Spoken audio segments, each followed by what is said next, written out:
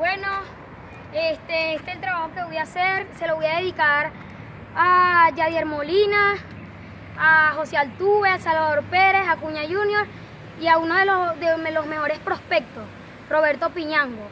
Esto es un trabajo para que vean que todo sí se puede y siempre hay que estar con la actitud en alto. Un saludo.